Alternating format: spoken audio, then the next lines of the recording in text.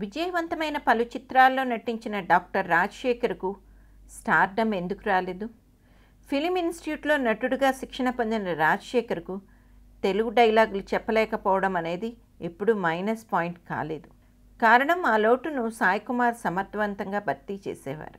అయినా ఒకసారి రాజశేఖర్తో సినిమా తీసిన నిర్మాత మళ్ళీ ఆయనతో సినిమా తీయడానికి ఎందుకు ఉత్సాహం చూపరు అంటే రాజశేఖర్తో సినిమా తీయడం అంటే కొరివితో తలగోక్కున్నట్లే అని అనిపించేలా ఆయన చాలా సమస్యలు సృష్టిస్తారని చిత్ర పరిశ్రమలో చెబుతూ ఉంటారు.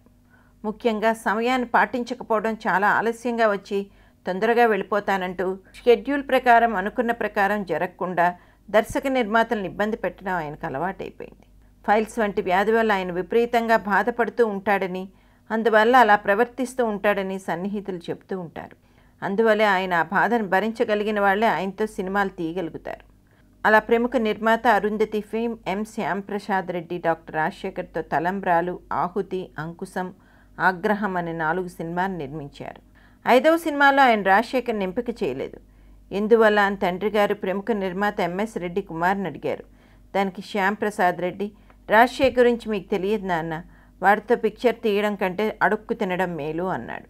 దాన్ని బట్టి ఆయన రాజశేఖర్తో పాప ఎన్ని అవస్థలు పడి ఉంటాడో మీరే ఊహించండి.